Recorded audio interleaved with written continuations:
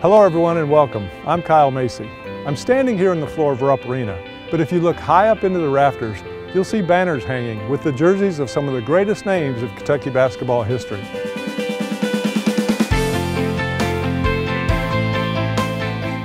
We just looked at it as a the championship game that we wanted to beat that team because that's who we were playing. Uh, there was no race involved. Even after the game, you didn't hear anything about the white guys got beat by the black players. But through the years, it's, it's you know it's just been built up as a, as a racial game.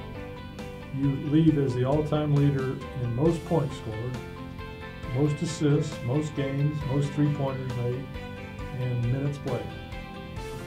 And all those names you just mentioned, that's got to make you feel pretty good, knowing you, you led that league.